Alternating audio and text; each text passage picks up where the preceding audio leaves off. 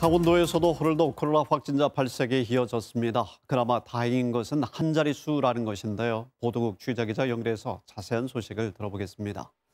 네, 조휴연 기자, 방송 전에 한 명이 증가하기도 했는데요. 오늘 도내 확진자는 모두 몇 명입니까? 네, 오늘은 다섯 명입니다. 이번에 환자가 나온 곳은 속초와 춘천, 횡성인데요.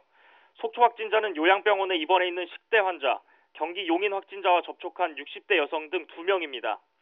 춘천 확진자는 신사우동과 동면에 거주하는 주민들로 현재 역학조사가 진행 중입니다. 횡성 환자는 이달 22일 아랍에미리트에서 입국한 60대 자가격리자로 추가 접촉자는 없습니다. 이처럼 강원도에서 하루 확진자 수가 10명 아래로 떨어진 건 이달 17일 이후 일주일 만에 처음입니다.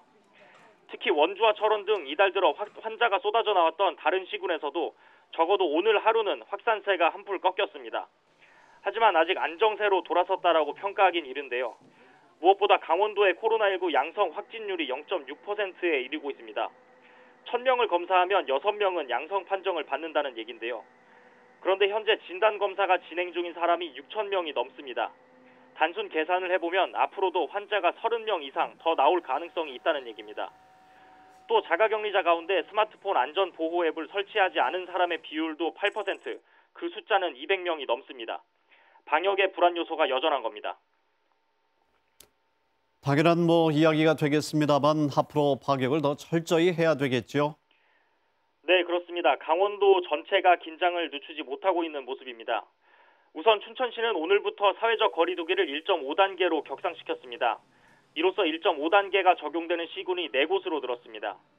특히 군부대와 요양원에서 확진자가 계속 발생한 철원군은 거리두기 2단계 격상까지 검토하고 있습니다. 또 집단 환자 발생에 대비한 강원도의 생활치료센터도 가동을 시작했습니다. 이미 화천의 50대 주민 한 명이 입소해 치료를 받고 있습니다. 도 생활센터에는 현재 1인 1실 기준으로 병실 40개가 마련되어 있는데 최대 80개까지 확보가 가능합니다. 교육계, 교육계도 방역의 고삐를 바짝 조이고 있습니다. 당장 다음 주에 대학 수학능력 시험을 앞두고 있기 때문인데요. 우선 이달 26일부터 수능 이튿날인 다음 달 4일까지 도내 고등학교 116곳 전체에 대해 원격 수업이 실시됩니다.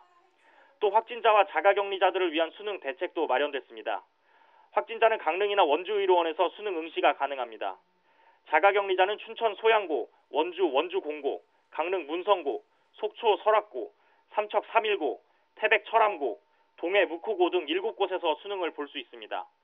지금까지 춘천 보도국에서 KBS 뉴스 조희연입니다.